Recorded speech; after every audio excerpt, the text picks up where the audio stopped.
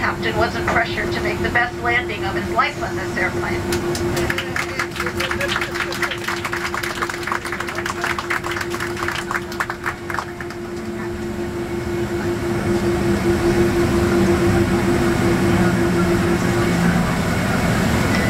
Welcome to Philadelphia. The local time is 1:44. Please remain seated with your seatbelt fastened until the seatbelt sign is turned off and keep the aisles clear of all carry-on items. Take a moment to check your seat back pocket for any personal items like tablets and cell phones. When you open the overhead compartment, be careful as items may have shifted in flight. You may now use your cell phone.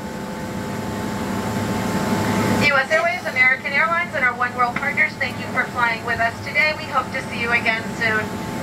And your crew would really like to thank everybody that took this flight as a special thing for them and us, and we really appreciate it. Thank you so much. We do love this airplane.